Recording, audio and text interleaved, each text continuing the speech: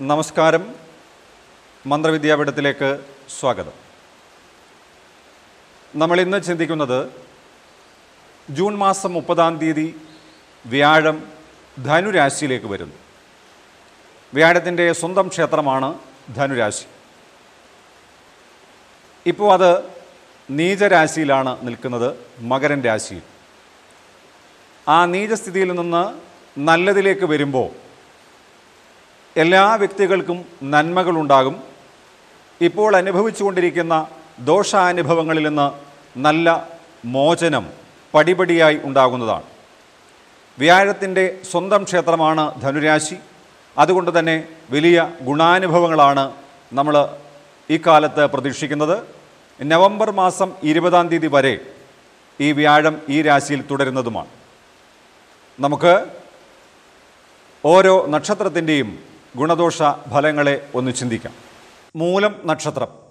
മൂലം നക്ഷത്രത്തിന്റെ രാശി ധനുവാണ്. ധനുരാശിയിൽ തന്നെയാണ് ഇപ്പോൾ വ്യാഴം നിൽക്കുന്നത്. അഥവാ ജന്മവ്യാഴമാണ്. ജന്മവ്യാഴം കുറച്ച് പ്രശ്നങ്ങൾ ഉണ്ടാക്കുന്നതാണ്. എന്നാൽ ചില ഗുണാനുഭവങ്ങളും നൽകും. അത് വ്യാഴത്തിന്റെ സ്വക്ഷേത്രമായതുകൊണ്ട് പൊതുവേ ഗുണകരം തന്നെയായിരിക്കും. ആരോഗ്യപരമായ ചില കാര്യങ്ങളിൽ പ്രശ്നങ്ങൾ അനുഭവപ്പെടും. ചില ചെറിയ അസുഖങ്ങൾ കാര്യമായി നിരന്തരമായി ശല്യപ്പെടുത്താൻ സാധ്യതയുള്ള കാലമാണ്. സാമ്പത്തിക രംഗത്ത് വലിയ പ്രതിസന്ധി ഉണ്ടാവുകയില്ല. എങ്കിലും ചില പ്രശ്നങ്ങളൊക്കെ തലപൊക്കാൻ സാധ്യതയുണ്ട്. എന്നാലും അവയൊക്കെ വേണ്ട രീതിയിൽ പരിഹരിക്കാൻ കഴിയുന്നതാണ്. കടമായി വാങ്ങിയിട്ടുള്ള പണം യഥാസമയത്ത് തിരിച്ചു കൊടുക്കാൻ ചില ബുദ്ധിമുട്ടുകൾ അനുഭവപ്പെട്ടേക്കാം.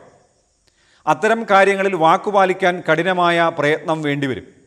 ആരാധനാലയങ്ങളിൽ പോകുന്നതിനോ വഴിപാടുകൾ നടത്തുന്നതിനോ ചില ബുദ്ധിമുട്ടുകളും തടസ്സങ്ങളും അനുഭവപ്പെടാം.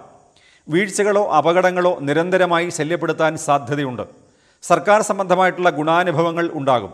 ഭക്ഷണകാര്യത്തിൽ നല്ല സുഖാനുഭവങ്ങൾ ലഭിക്കും. പ്രശസ്തിയും കീർത്തിയും ഉണ്ടാകുന്ന കാലമാണ്. വിദ്യാർത്ഥികൾക്ക് അനുകൂലമായിട്ടുള്ള കാലമാണ്. പഠനകാര്യത്തിൽ ശ്രദ്ധയുണ്ടാവും. പരീക്ഷകളിലും ഇന്റർവ്യൂകളിലും വിജയിക്കും. ഗുരുജനങ്ങളുടെ പ്രീതിയും ഈശ്വരാനുഗ്രഹവും ഉണ്ടാകും. ആരാധനാലയങ്ങളും ക്ഷേത്രങ്ങളും സന്ദർശിക്കാനുള്ള ഭാഗ്യം ഉണ്ടാകും. സർക്കാർ ജോലിയിലിരിക്കുന്നവർക്ക് അനുകൂലമായ സമയമാണ്.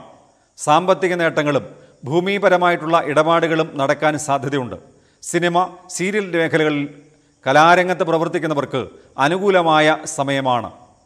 ഈ നക്ഷത്രത്തിന്റെ ഗുണദോഷ ഫലങ്ങൾ ഇങ്ങനെയൊക്കെയാണ് പറയുന്നത്.